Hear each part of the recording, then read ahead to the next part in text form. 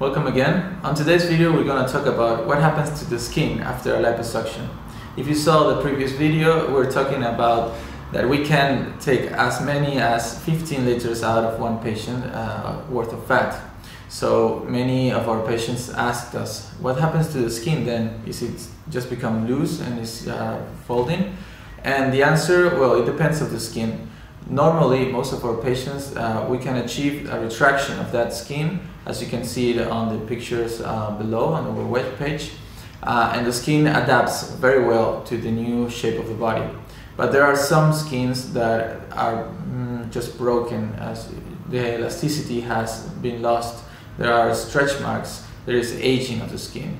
So uh, after an evaluation, if we determine that the skin will not retract as much as we would like to, maybe uh, the best thing to do is an abdominoplasty, which is uh, um, stretching the skin and taking out whatever's left.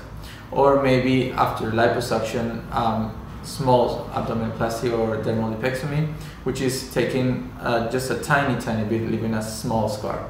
So uh, every patient uh, is, uh, is not the same, so, and we need to address every patient, each patient as, as a unique case.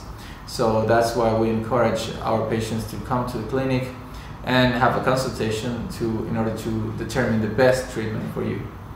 So follow the links below uh, to keep knowing about liposuction and the techniques. And if you want to see more pictures of before and after, you can always come to the consultation and we can just show them to you. We have more than 30 years of experience in this field and as much as 5,000 patients operated on off liposuction. Thank you very much.